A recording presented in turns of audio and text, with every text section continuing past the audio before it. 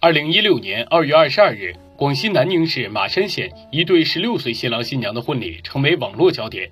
近日，新京报记者走访发现，在马山县的古陵、金钗、临尾、永州、乔丽等乡镇都有早婚夫妇的个案。当地政府倍感压力，教育、民政、妇联等部门召开联席会议，要求落实五项措施应对辍学和早恋现象。有人士说，马山对早婚现象表现出前所未有的重视。二月二十七日上午九点，广西马山县妇幼保健院，十六岁的韦璇（化名）躺在床上。她一天前刚生了孩子，怀孕七个月时，韦璇还不知道自己有了孩子，以为是肚子胀气，一个劲儿吃健胃消食片。几天后，韦璇将带着新出生的孩子进入婆家，与她的学生身份告别。这是大山深处一部分少男少女正在经历的命运。因十六岁结婚而在网上走红的张家乐（化名）说。他所在的初中恋爱很普遍，班上五十个人有三十个人都谈恋爱，而他和女方也不算初恋，他们都是初一的时候就有了男女朋友，不过后来散掉了。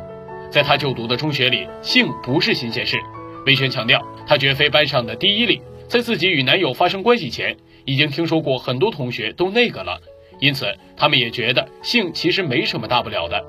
研究婚姻法的北京律师于超说，早婚早育会带来一系列的社会危害。除了破坏了法律的严肃性，早婚者年龄较小，不能很好的处理家庭矛盾，为家庭不稳定和社会矛盾埋下隐患。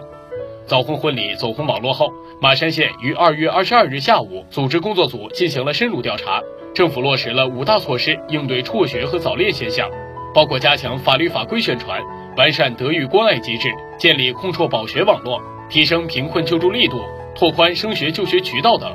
记者采访时，少年夫妇们表达了这样的观点：过好自己的小日子就好了，我们不需要管那么多。新京报东新闻报道。